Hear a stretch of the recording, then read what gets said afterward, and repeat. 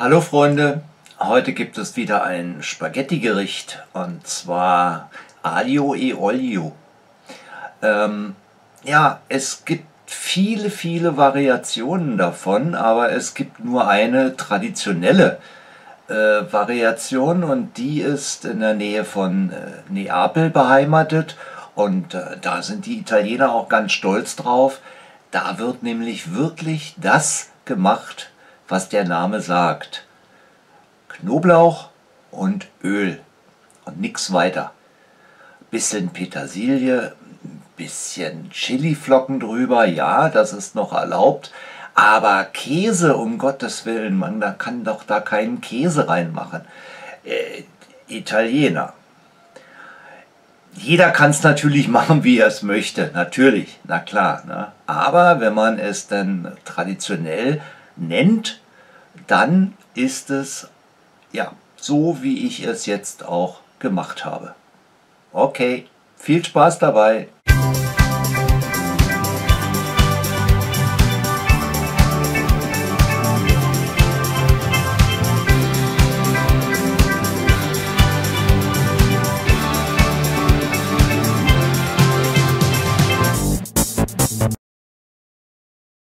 Hier die Zutaten. Wir brauchen Spaghetti, Knoblauch und Olivenöl. Wie es der Rezeptname auch schon sagt.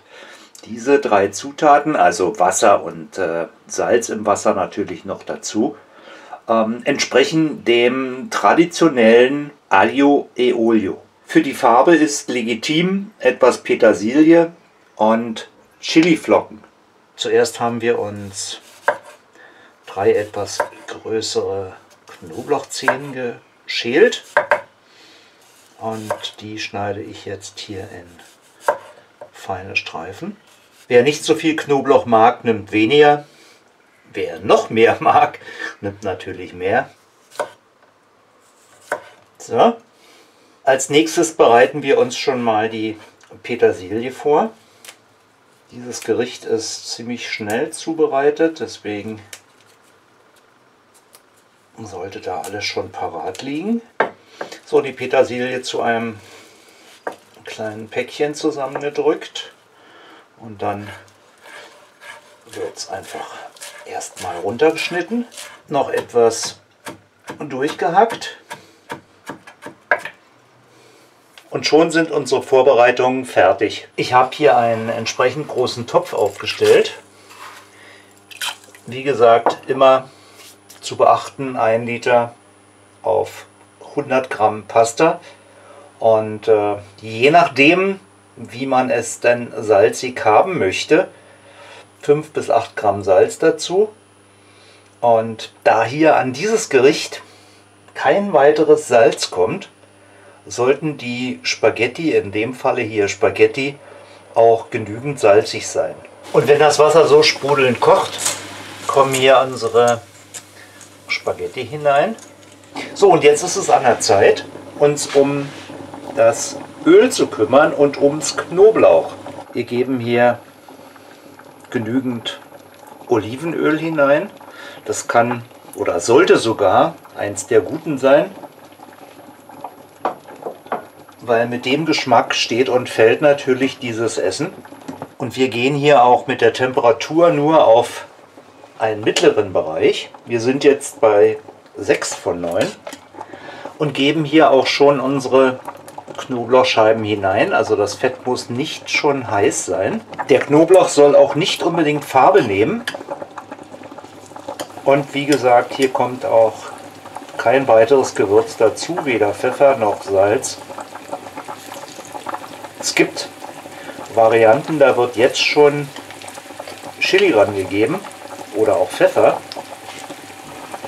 Aber traditionell macht man das wohl nicht.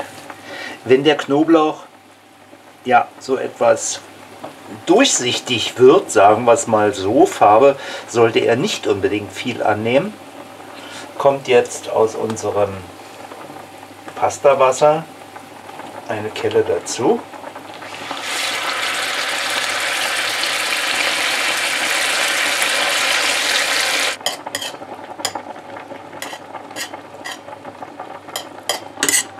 So, unsere Spaghetti sind, schauen wir mal, heiß zumindest. Und sie sind al dente. Das heißt, wir können jetzt die Spaghetti umfüllen in unsere Pfanne.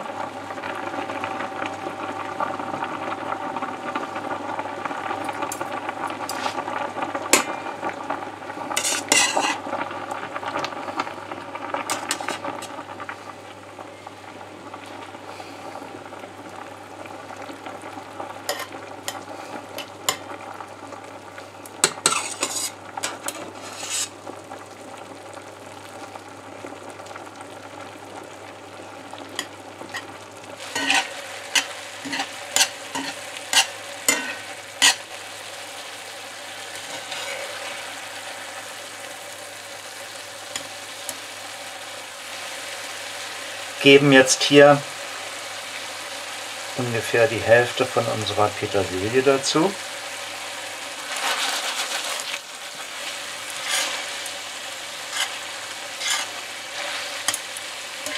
Ich werde das Ganze jetzt noch etwas anrichten und zwar in der Form, wie es in der Nähe des Vesuvs üblich ist, nämlich in Trichterform.